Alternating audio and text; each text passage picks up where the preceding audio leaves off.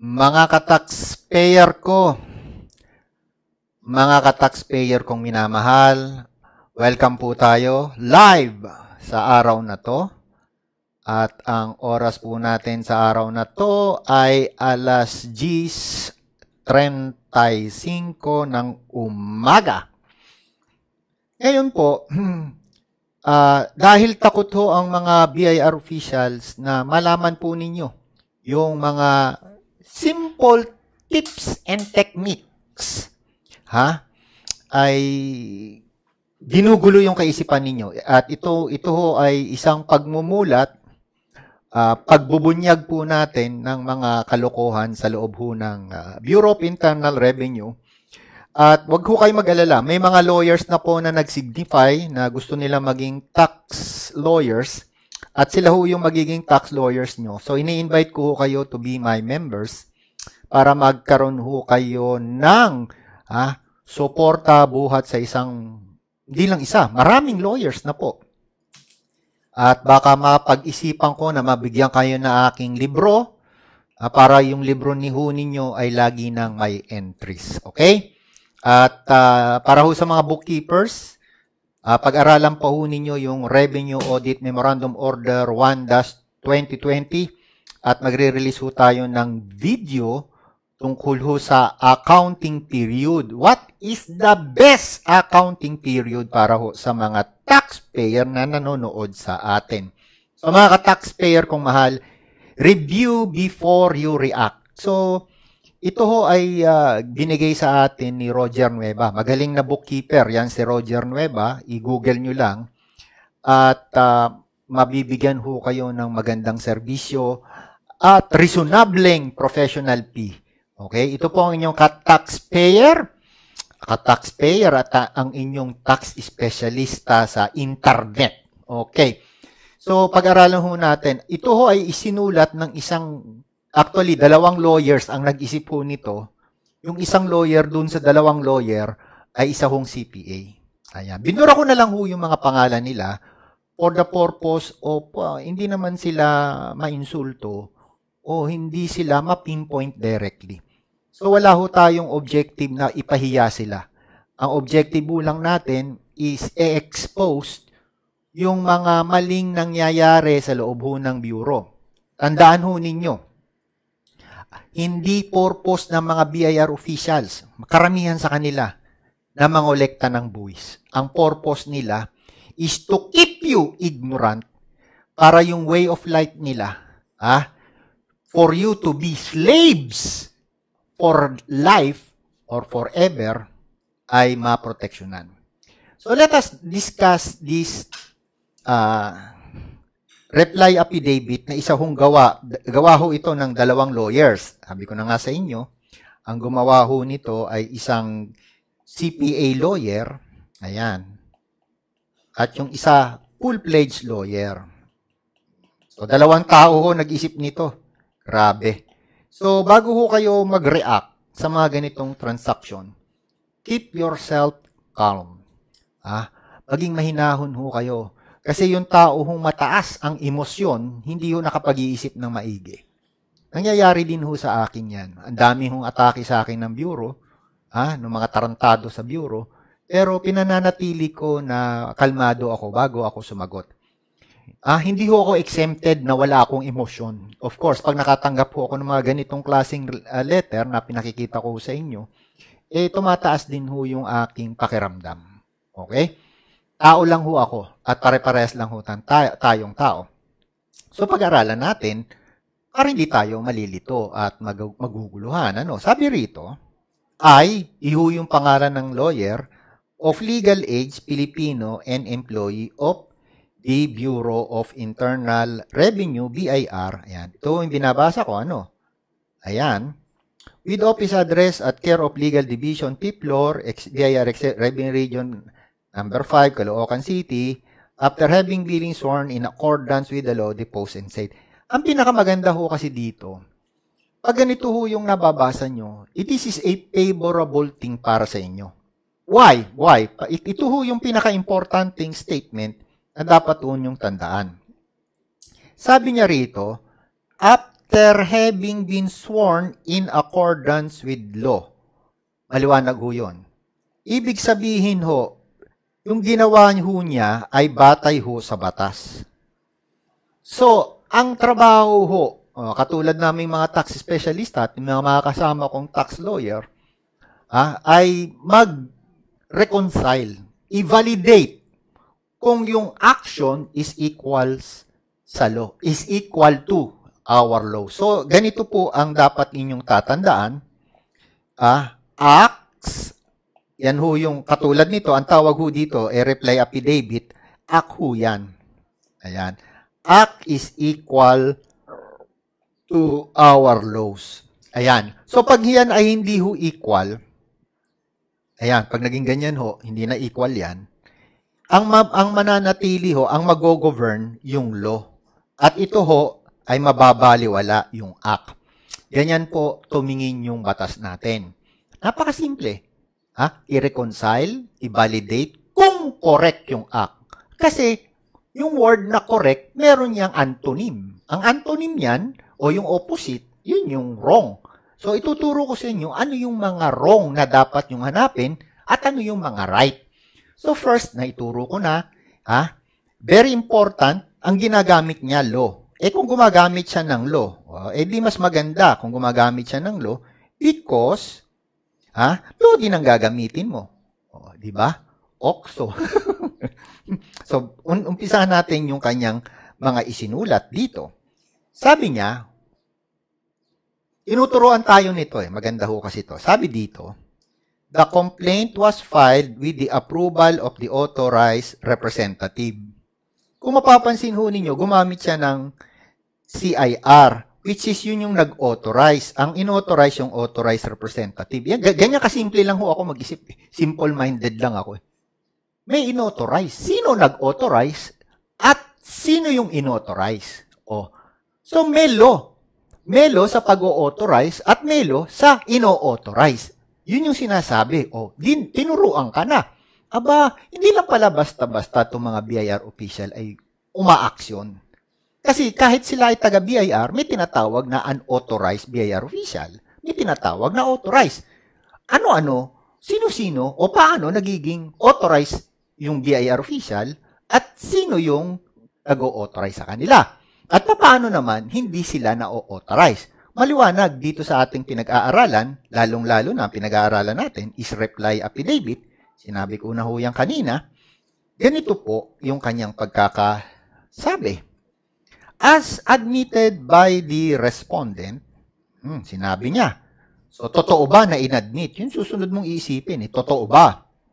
Okay. The Commissioner of Internal Revenue may delegate certain function to any subordinate official with the rank equivalent to a division's chief or higher. Hence, Revenue Delegation Order 2-2007 issued in March 2007 designated regional director as representative of the Commissioner of Internal Revenue. So, nag-a-analyze tayo ngayon.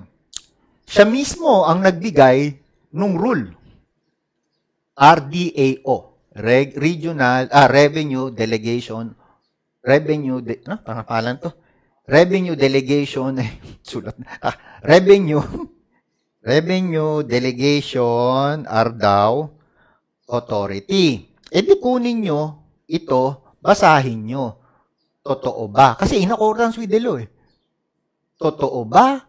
In accordance with the law, yung pagde-delegate. At ang sino dinelegate? Yung regional director. O edi, check natin nakasulat ba dito, ha, nakasulat ba dito na itong si commissioner ay nag-delegate, ayan, nag-delegate sa regional director. Yun yung question. If the answer is yes, o di alam mo na, matalino ka ng tao, hindi ka na ignorante tungkol sa pagde-delegate. Ganun lang yung kasimple mga bossing ko. Kahit sino, kahit hindi ka lawyer, kahit na high school graduate ka, pwede yan. So sumunod, sabi niya rito, perusal of the criminal complaint filed including its attachment would reveal that the filing of criminal action was the by virtue of the approval of the regional director through a duly issued referral address to the Honorable City Prosecutor. Meron ba? Meron bang ganon? So, existence. Ha? Compliance and existence sa batas. So, ang sabi, ito yung batas. Okay, turo na kita. Ito yung law, nasa number one, ito yung act. So, yung law, yung act ba ay tumatama sa law. Diba? Di ba yung una kong turo sa inyo? O, titulong natin, tuloy natin. Number three, the referral, ayun, letter which was being attached in the complaint serve as authority and, and approval for filing and institution of criminal complaint and the corresponding filing of information before the appropriate court in accordance with the provision of Section 220 Tax Code. Ayan po, binigyan kayo ng sangkatutak na law. O di, favorable to sa iyo. Again, ang gagawin mo, itong bang act ay tumatama sa law na to. Oh, so yung yung yung BIR official na to, ha? Binibigyan ka ng law para i-audit yung act niya. Napakaganda nun, napakaganda. Okay? So susunod natin pag-aaralan yung number 4. Number 4. Nowhere, okay, Nowhere in the ARDAO or any issuance of the Bureau of Internal Revenue requires that the regional director or the Commissioner of Internal Revenue be the actual complainant who will sign the criminal complaint in any criminal controversy. Okay. So, sinasabi niya, pwedeng kahit sino. The, the law and various revenue issuances only requires authority to institute complaint from the CIR or his authorized representative. Such authority was granted by virtue of issuance of the referral letter. O di ang ganda, alam mo na ngayon. Ha? Yung nagpo-prosecute or nagpe-persecute sa'yo, hindi naman si commissioner. Ha? Siya lang yung sinasabi niya dito, siya lang yung uh, taga, uh, tawag nito, authorized.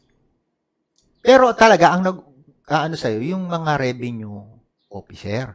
So, yun, yun sinasabi dito, sir, ang ganda eh. Ang, ang ganda ng pagkakagawa eh.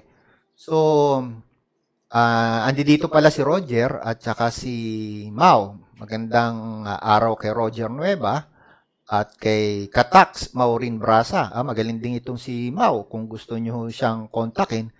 Ang kanyang uh, ang kanyang uh, Facebook account is Katax uh, Maureen Brasa. Si Roger naman, Roger Nueva, di hanapin nyo na lang yon. Okay. So, susunod na, number five. Ito ngayon yung conclusion. The complainant was signed by me and the Assistant Chief Legal Division and was referred to the city prosecutor through a referral letter issued by the regional director such as the claim of such as the claim of lack authority institute this instant action has no basis to as no legal basis to stand on. Okay. So ngayon, yung legal basis nga, eh, sinabi niya na nga rito eh. Di ba? Sinabi niya yan. So it is your duty uh, before mag-react ka sa ganitong mga klase ng transaction is um, i-check mo yung action dun sa mga laws. Hindi mo na kailangan mag-research kasi binigay na sa'yo. Eh dun sa mga laws na sinabi niya. O nadidito rin pala si uh, uh, G. Santander. Mahusay na CPA yan. Ha? Yung kanyang application para sa tax agent ay on process. Pero uh, G, since you are a already a certified public accountant, please uh, make it sure na updated yung iyong CPA license. Tayong mga CPAs, na kung nakikinig yung libo-libong CPAs, hindi ho natin kailangang kumuha ng uh, ah, BIR accreditation as as tax agents. Hindi po. Because nasa batas ho ng accountancy na ang CPA ay pwede hong mag-represent ng client sa BIR without getting a uh, a ano a certificate of accreditation from the BIR nga as tax agent uh, sa mga kliyente in relation to taxation at accounting. Yan po. wala ho, hindi ho, hindi ho ako nagsisinungaling, basahin ho niyo yung substantive law. It will prevail over the uh, administrative law of the BIR. Now, punta ngayon tayo sa second issue na binabanggit dito. Sabi dito, ito, ito ngayon. Ah, ang ganda kasi nito, sir, because kinokorek ka eh. Kinokorek ka ng BIR. It's a free correction. At ito dapat ay i-correct. Kung nakikinig si Roger, dapat i-correct to, Jer. Ang sabi dito, as admitted, mahilig talaga ito, the correction was made by his staff in support of his claim. Attached an affidavit dominated in his counter affidavit as Annex E and Annex F. Meron daw kinorek na information. So, merong information na ipinail sa BIR, kaya idinemanda itong taxpayer na to. Because may pinail sa BIR na mali. So dahil nag-file ng mali sa BIR, kinasuhan yung taxpayer. Teka muna, ang tanong kasi, bakit mo kakasuhan yung taxpayer? Yung taxpayer ba nagkamali?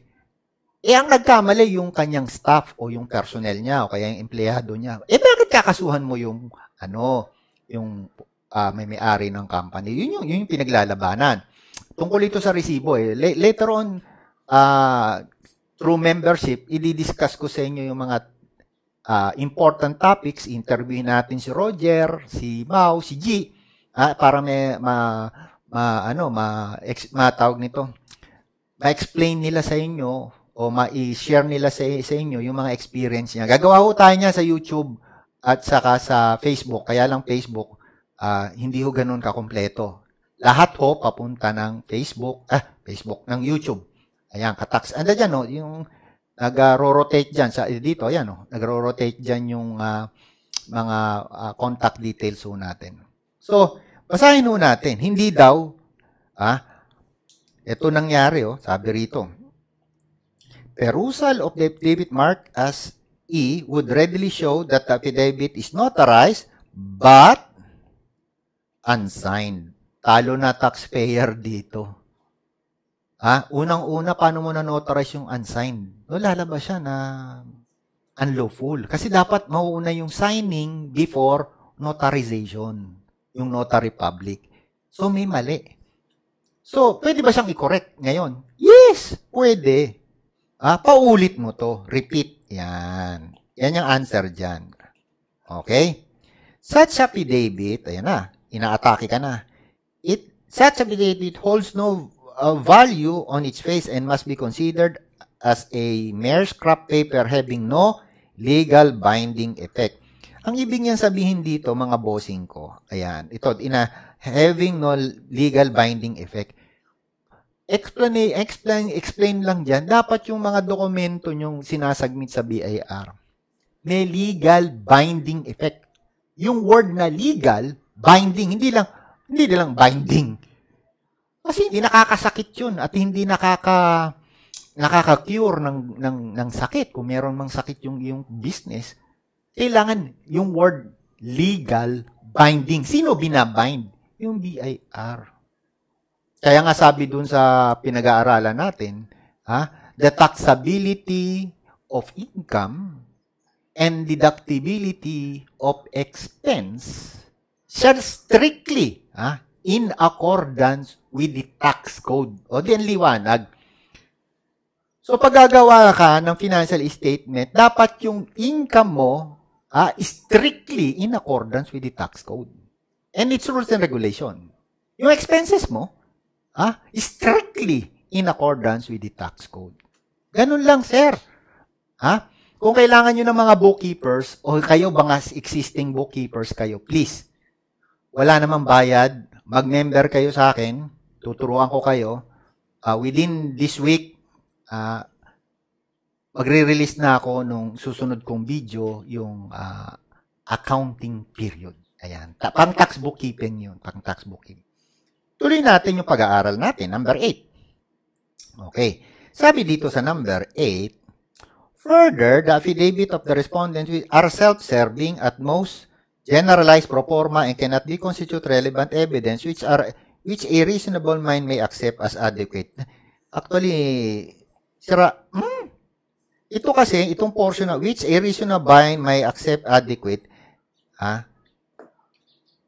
kung ako yung prosecutor na si ginanon, ako naka-receive nito, parang sinasabi niya sa akin, wala akong utak eh. Di ba? Pag ganun ang dating eh, parang walang utak naman tong prosecutor na to. Ha? So, uh, yun yung, yun yung pinararating niya. So, kailang, sabi rito is, cannot be constitute in the absence, in the absence of any evidence to corroborate the same, the affidavit has have no probable value. It uh, actually, kung mapapansin nyo sa sup, mga sa mga court decision, nire-require ng affidavit. Why? May dalawang klase ng evidence. Tinatawag na hard evidence at saka yung tinatawag na verbal evidence. So yung verbal evidence eh yung tao na witness niya. Eh wala namang hard evidence para sa witness mo. Nakita mo, narinig mo, nalasahan mo, naamoy mo. Ha? Walang hard evidence doon. 'Di ba? o eto naamoy ko. Walang ganun. Diba? Kailangan sasabihin mo. Kaya merong tinatawag na affidavit. Ang affidavit, ah, makinig ka, Mau at saka G, very important yan sa accounting. Ah, very important sa paggawa ng ano yan, ng, ng accounting entry. Ang tawag ko nga, tax accounting entry. Para sa mga tax bookkeeper. Because, yun yung nagsasabi ng event. At pag yan ay nanotarize, sabi ng ating Supreme Court, it enjoys the presumption of correctness. Ayan, sinabi na. Okay. So, matatapos na natin to. Kung ginagawa natin to. Ay, litli lang naman. So, yun po yung may tutulong ko. Hindi ho totoo yung sinasabi yung affidavit ay wala hong probative value. Meron pong value yan. Okay? Basta inotarize nyo. Okay? The defense of, ayan, ito ho, uh, itutuloy ko ho itong part 2. Okay, ito ho ay part 2. Tuloy ko ho yan later on. Okay? So with that, mga ka-taxpayer kung mahal, ah, manatili ho kayong nakikinig, nanonood sa mga ibinubunyag kong katarantaduhan, kalokohan. Alam ho ninyo, ang way of life ng BIR is corruption. Yung mga BIR, ah, sindikato yan eh, mga sindikato sila. So, sindikato na nasa lug, inilalagay nila sa legal yung pagiging sindikato eh. So, yung sindikatong to ay, tandaan nyo yung salitang ICE, di ba? Sinuro ko na yung ICE eh. Okay. Sabi ko rito, uh, yung, yung, itong sindikatong to nabubuhay sa ICE. Yellow. Okay ignorance, ignorance ng taxpayer, ignorant taxpayer, confusion. Ah, confusion. Confused taxpayer, and yung na isa, estope. Yan. Estope taxpayer. Diyan ho sila nabubuhay. So, ang pagbubunyag ho natin is tanggalin yung mga taxpayer sa pagiging ignorante, alisin yung kanilang confusion, kaya kailangan kalmado ka, eh, calm.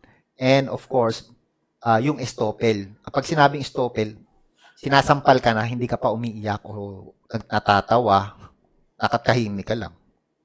Pak, pak, pak, pak. Eh? Lakas na ng sampal, nakang, nakaganon ka pa rin. Diba?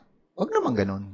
Irespeto niyo yung buhay ninyo. Irespeto niyo yung mga mahal niyo sa buhay na ayaw kayong maging ignorante Ayaw kayong maging uh, uh, confused. Sino ba naman gusto maging confused? O ayaw kayong mag-stopel? So, yung susunod nating lecture, part 2. Abangan ho ninyo yon. Susunod na ho yun. So, with that, um, please, ah, be my members. At sabi ko nga, may membership ako. Yung first tier ko, ang tawag ko, hot summer. Yung second tier, yung second level, ang tawag ko ay uh, uh, golden sun. At yung pangatlo, yung pinakamataas na level, ang tawag ko ay pure water. Kung meron kayong ibang uh, suggestion, please. Ha? Naghanap ako ng mga, mga ano eh, ng mga pangalan para sa tiers na yan. Paki-comment nyo na lang. Okay? Marami pong salamat and peace and happiness be with you, mga ka-taxpayer kong mahal, for life. See you later.